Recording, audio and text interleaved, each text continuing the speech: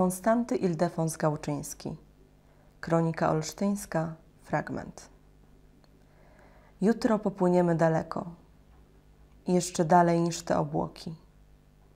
Pokłonimy się nowym brzegom, odkryjemy nowe zatoki. Nowe ryby znajdziemy w jeziorach, nowe gwiazdy złowimy w niebie. Popłyniemy daleko, daleko, jak najdalej, jak najdalej przed siebie. Starym borom nowe damy imię. Nowe ptaki znajdziemy i wody.